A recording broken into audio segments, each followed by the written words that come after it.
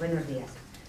Propuesta abierta de manifiesto 1 de octubre para Día Internacional de las Personas Mayores. Si me pongo nerviosa, perdonadme. Para hacer efectivo el paradigma del envejecimiento activo, programado por la OMS, aprobado por Naciones Unidas y destacada por la Unión Europea, se precisa por impacto económico. Primero, apostar por las autonomías en el desarrollo de sus propias planes de vida. Esencial entre las inquietudes de las personas mayores esté presente en la oferta de servicios tanto de atención como de participación social. Servicios que deben de ser integrales, personalizarlos y planificados con su participación efectiva, de cara a garantizar, un envejecimiento activo.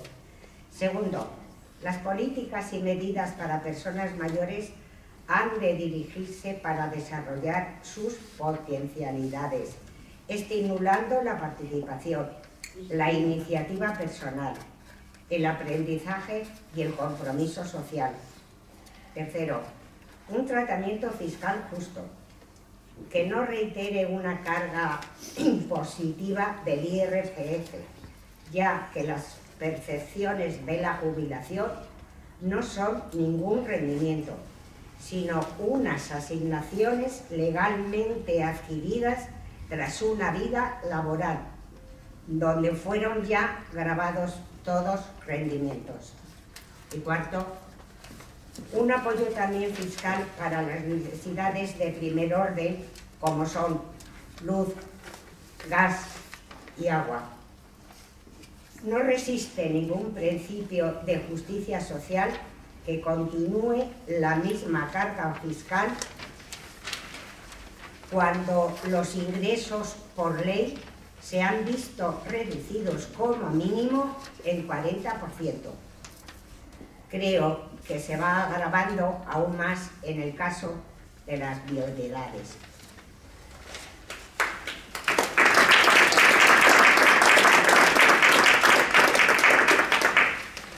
Por impacto social, número uno, priorizarse en las agendas políticas del desarrollo y mantenimiento de sólidos sistemas de protección social porque la seguridad frente a los riesgos de un determinante esencial de envejecimiento activo es imprescindible para el bienestar.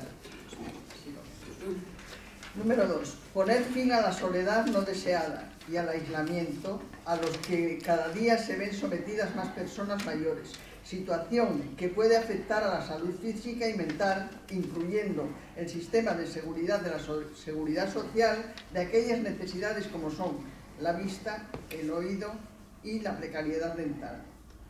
Número 3. Avanzar en la construcción de una sociedad para todas las edades en la que todas las personas tengan oportunidades para ejercer sus derechos y deberes.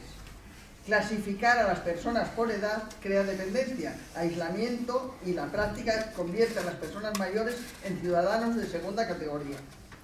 Número 4 la sociedad debe de comprender que el proceso de envejecimiento forma parte del ciclo vital, por lo que es crucial planificar a tiempo la etapa de jubilación y prevenir las causas que producen enfermedad o dependencia, ya que todos somos mayores o lo seremos algún día. Nosotros todavía estamos creciendo. Defender desde, desde los poderes públicos la igualdad de oportunidades para que el máximo número de personas mayores tengan un papel activo en la sociedad y las mismas posibilidades que las otras con independencia, que las otras con independencia de su edad y etapa de vida en la que se encuentren. número 6. Asumir que sentirse parte de la comunidad quiere decir que somos partícipes de su devenir y debemos sentirnos reconocidos como miembros activos de la misma. Es la ciudadanía y no la edad u otras condiciones la referencia fundamental. Por tanto, cumplir una edad determinada no puede ser argumento para separar, marginar o segregar. Número 7.